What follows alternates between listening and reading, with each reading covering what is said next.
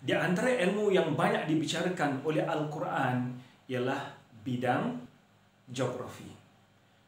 Hari ini kita lihat mukjizat saintifik Al-Quran sudut geografi. Apa yang saya bicarakan hari ini ialah kandungan oksigen yang ada di atmosfera. Dulu ramai orang yang menyangkakan bahawa semakin tinggi kita naik ke atas, semakin segar udara, semakin mudah untuk kita bernafas dengan elok sebab udaranya segar. Namun demikian, apakah fakta ini benar? Semakin tinggi kita naik, semakin mudah untuk kita bernafas sebab udaranya yang segar. Apa yang ditemui oleh Gorerio dalam kajian beliau? Beliau menyatakan bahawa atmosfera kita ini adalah terdiri daripada nitrogen sebanyak 78%, oksigen sebanyak 21%, wap air sebanyak 1%, karbon dioksida 0.03% dan uh, gas nadir habuk yang lain mikroorganisma lebih kurang 0.97%. Kandungan yang paling tinggi adalah kandungan nitrogen. Namun demikian, 21% oksigen yang ada di atmosfera itu sudah mencukupkan membolehkan kita untuk bernafas dengan elok. Untuk kita bernafas dengan baik. Hanya 21% sahaja kita sudah dapat bernafas dengan baik. Namun demikian kandungan oksigen yang hanya 21% ini akan berkurangan mengikut ketinggian suatu kawasan. Semakin tinggi kita naik semakin berkurangan kandungan oksigen So inilah yang ditemui oleh uh, Turhansan di mana beliau Turhansan menjelaskan bahawa kandungan oksigen berkurangan antara 8 hingga 11% setiap kenaikan 100 meter, 1000 meter. Setiap kenaikan 1000 meter, kandungan oksigen akan berkurangan 8 hingga 11% daripada 21% tadi. Ini berarti sekiranya seorang itu mencapai ketinggian 5000 hingga 6000 meter sahaja sudah cukup kandungan oksigen akan berkurangan sehingga 50%. Berarti di kala itu kandungan oksigen di atmosfera hanya lebih kurang 10% sahaja. 10% saja. Namun bagi orang yang sehat, mereka masih boleh dapat bernafas dengan elok. Mereka masih boleh dapat bernafas dengan elok. Ataupun uh, dah mula timbul sesak nafas tapi masih lagi boleh bernafas. Mereka yang ada asma ketika itu sudah mengalami kesukaran untuk bernafas sebab kandungan oksigen telah pun hilang sebanyak 50%. Berarti di atmosfera ketika itu oksigen hanya tinggal lebih kurang 10% sahaja berbanding dengan gas-gas yang lain.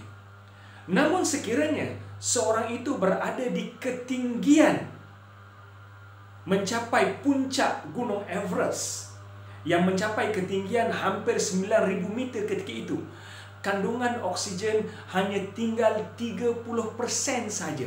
30% saja berarti kandungan oksigen di kawasan situ hanya ada lebih kurang 6 hingga 7% saja. Menyebabkan mereka yang mendaki Gunung Everest untuk mencapai puncak mereka perlu mendapatkan bantuan oksigen. Sekiranya mereka tidak mendapat bekalan oksigen, mereka akan mengalami kesesakan nafas yang begitu hebat. Gambaran yang saya nak ambil di sini ialah semakin tinggi kita naik, semakin kurang kandungan oksigen. Dan oksigen berkurangan dengan kadar lebih kurang 8 hingga 11% setiap peningkatan sebanyak 1000 meter ketinggian. Subhanallah. Sampai satu peringkat. Apabila seorang itu mencapai ketinggian 16,000 meter, maka di kali itu oksigen sudah tidak ada lagi. 16 meter oksigen dah tak ada lagi. Dan mereka tidak boleh bernafas. Orang yang berada di situ tanpa bekalan oksigen akan mati.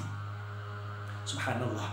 Tuan-tuan muslim kadar oksigen yang berkurangan dengan kadar peningkatan tinggi ini baru saja ditemui di abad ini.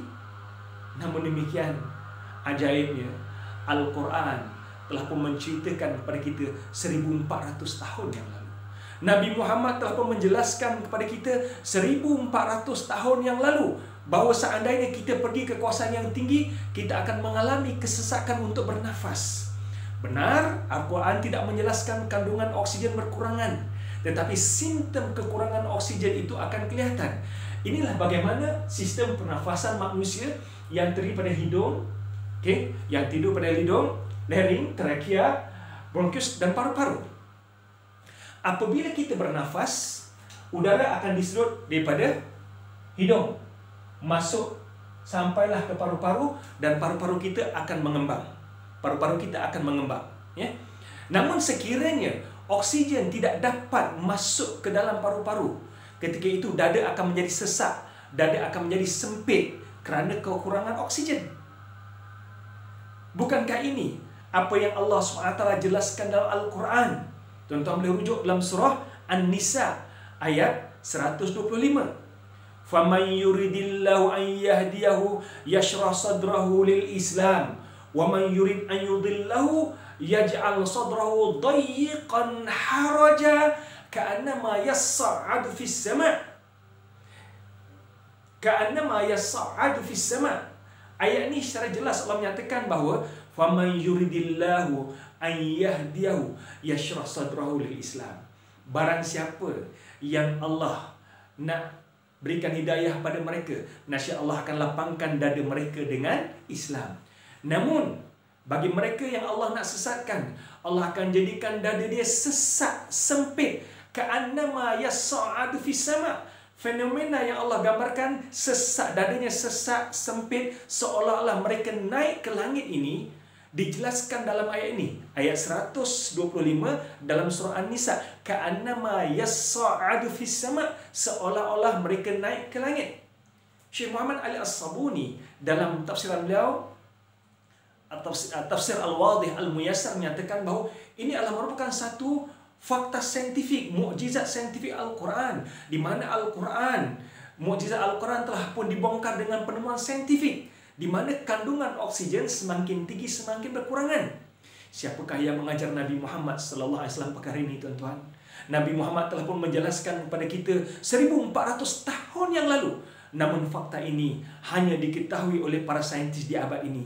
Wa ma yantiqu anil hawa in huwa illa wahyuha. Nabi Muhammad tidak bercakap ikut hawa nafsu, melainkan wahyu daripada Allah Subhanahu Benar apa yang Allah sebutkan dalam Al-Quran dalam surah Fusilat ayat 53 sanurihim ayatina fil afaqi wa fi anfusin hatta yatabayyana lahum annahu al-haq awalam yakfi bi rabbika annahu ala kulli syai'in syahid kami akan terus pertontonkan kepada mereka tanda-tanda kebesaran kami mukjizat-mukjizat kami pada alam maya ini dan juga pada diri manusia sendiri. Hatta yatabayyana lahum annahu haq hingga menjadi dalil dan bukti pada mereka bahawa benar Quran itu datangnya pada Allah Subhanahu taala. Awalam yakfi bi rabbika annahu ala kulli syai'in syahid wahai manusia tidak cukupkah segala penemuan-penemuan ini menjadi dalil dan bukti benar Quran ini datangnya pada Allah Subhanahu wa taala? Allahu akbar